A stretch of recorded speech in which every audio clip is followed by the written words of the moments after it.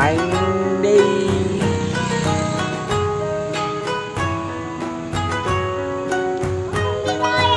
À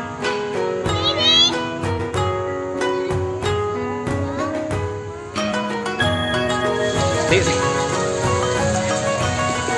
thì to cái đít vào đi. Thì phải to cái đít ướt vào cái đã. Một hai ba. Trời, quá siêu luôn Bơi bơi đi